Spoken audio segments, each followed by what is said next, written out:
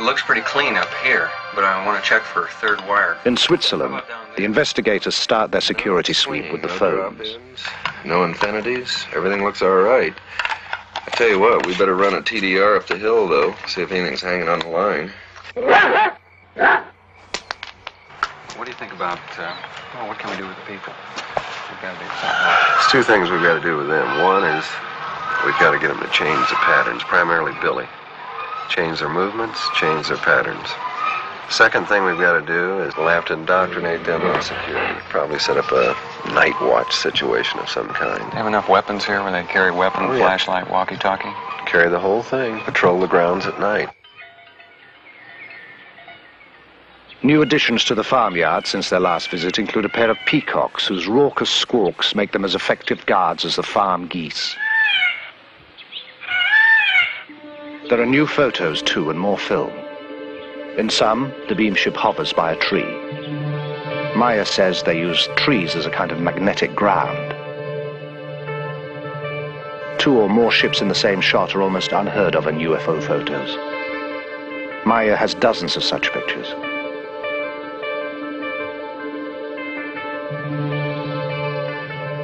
Ships below a horizon line, such as a hill, are even rarer. In this photo, a Variation 2 ship controls a smaller unmanned drone ship, designated as Variation 5.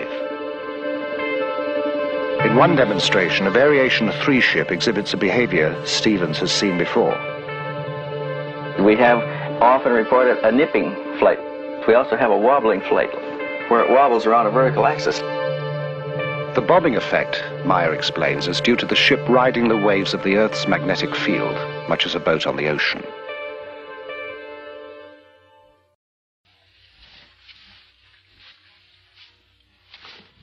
When Meier is about to have a contact, he receives a cooling sensation on his forehead. The communication is telepathic. He prepares carefully. He is usually taken aboard the beam ships, but is unable to describe their interiors very well. There are no words, he says. Apparently, they are totally unfamiliar. The gun is a precaution due to the threats on his life. The hat is a favorite, one he picked up on his travels in the Middle East. The tattoo he received during a brief stint as a sailor. He dresses well because he can be gone for hours and the weather in these mountains changes constantly.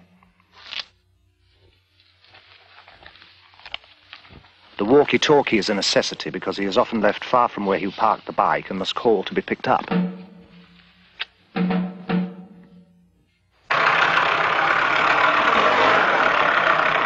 Meier feels the Pleiadians can communicate with him because his vibrations, the natural frequencies of his mind, are compatible with theirs.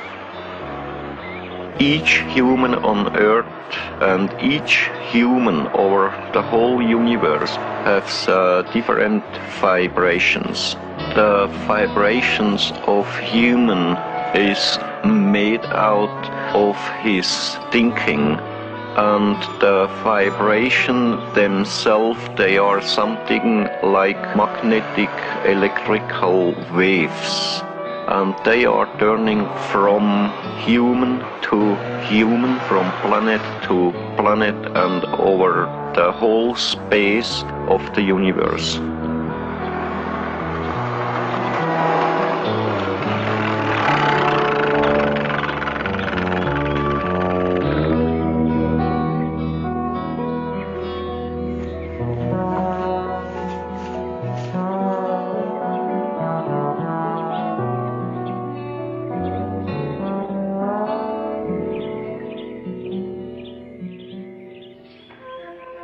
When entering your terrestrial state, we must make an adjustment in our vibrational patterns.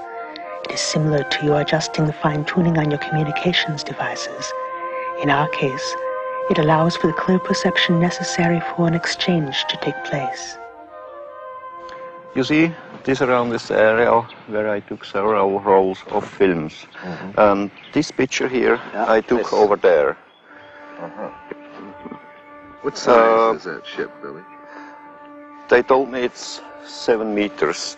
One of the most frequent spots for the contacts is Obersadeleg, a wide valley just 10 minutes from the farm at Schmidruti. In the meantime, Here, Meier took one of his most spectacular series of photographs.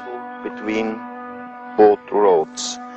And you can see here these lighty trees here. Mm-hmm. That's Same. there up. And here on the left side, this hill. What's happened there behind? Yeah. And the trees here down. It's that one there. Yeah. Okay, then is this, where this come in? Uh, this picture I took there. If you go left side a little bit, here. If you go down, like this way here. The beam ship stayed in the area for almost 20 minutes, flying slowly, often skimming the treetops, sometimes just hovering in place. and the ship was a little behind them when I took this picture. And just now the trees are growing up in the last months. They are about one and a half or two meter higher than at that time when I took this picture. then where did it move? It uh, left that place to the left side. Something like, Yeah. like this? And then it was moving over there. You see here the small tree where it's happened there. This one, that's that there. Did it come across in front of the trees like this? Yes, yes. And you can see there behind left side of this one, this tree, the higher one there. Yeah. And after this picture, I got the other one Uh-huh. to that position there. Further over? Yeah, Wait a minute, I think we got another one in here now. Yeah. the one in between But there, right? I had to go back a little bit there down, and Oh. from there I took the picture. That's the tree there down, what you can see. Yeah. The investigators are impressed by the vastness of the valley, the steep drops, and the obvious difficulty of hanging models from anywhere to fake the pictures. The stunning clarity of the pictures and the accessibility of the site gives the investigators the chance to put the photos through another test. Billy, this, uh, we're using this to measure distance. Mm-hmm. Uh, it's the latest in infrared measuring devices. It's actually a small computer. Mm-hmm. It's made by Wild Heerbrugg here in Switzerland. Mm-hmm. And what we're trying to do here, Lee is up there with the reflector. And what this will do is send infrared light out and reflect out of that reflector back here. And this will rapidly tell us the distance and will also tell us how much higher or lower he is. That's about where you're standing, right there. That's right, the place, yes. Okay, we'll go to on systems. Yes, we've got 1,262 feet, 0.85. The precise measurements and photos are fed into the computer. The edges of known objects, such as the trees and the hills, are translated into pixels. Since these measurements are known, the number of pixels in the edge of the unknown object, the craft, gives its distance.